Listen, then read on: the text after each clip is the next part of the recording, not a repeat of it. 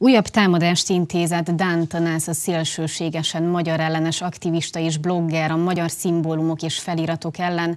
Ezúttal Gyergyó Szent Miklóson próbál szimbólumokat és feliratokat eltávolítatni.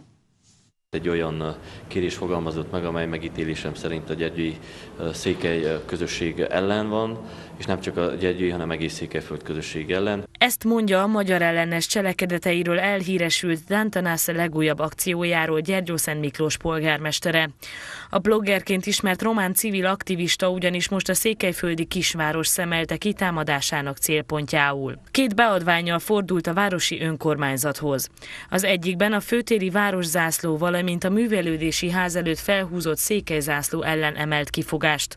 A másikban a művelődési házon olvasható magyar nyelvű feliratot kifogásolja, amely szerinte azt a hamis látszatot kelti, hogy a magyar és román nyelv egyenértékű az országban.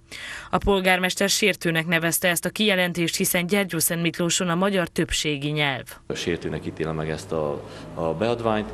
Természetesen a megadott 30 napos határidőn belül meg egy, megbeszéljük majd a következő lépéseket a képviselőtestülettel is, hiszen hozzá is címezte a beadványt, de én személy szerint nem fogom javasolni eltávolításra, hanem a bírósági úton megpróbáljunk érvényt szerezni igazunknak. Mindkét beadvány bírósági per előtti előzetes megkeresésként küldte az általa működtetett civil szervezet nevében Dántanász, így várhatóan nem sokára idézés is érkezik a városházára.